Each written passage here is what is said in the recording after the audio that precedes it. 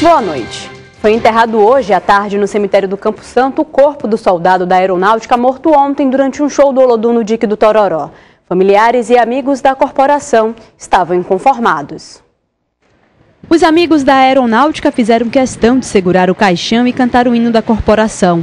Nós, nunca vencidos, de valores exigidos, no calor da disputa. Bastante abalados, eles não tiveram autorização para gravar entrevista, mas disseram que Diego era um rapaz tranquilo, dedicado ao trabalho. Diego era um menino bom, sabe? Tá trabalhando, trabalhando agora.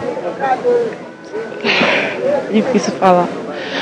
Diego Santos Lima, de 19 anos, ia para o show do Olodum no Dique do Tororó com um amigo, Paulo Roberto dos Santos, de 23 anos, quando os dois foram atingidos pelo adolescente de 17 anos, ainda no estacionamento.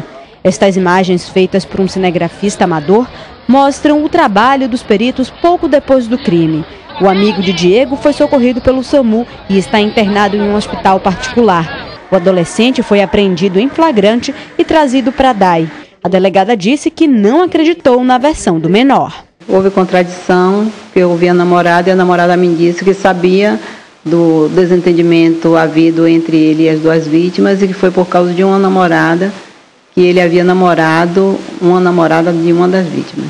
O crime chocou a família e os amigos querem justiça. A família não esperava uma coisa dessa, morrer de uma forma tão brutal por um adolescente, né?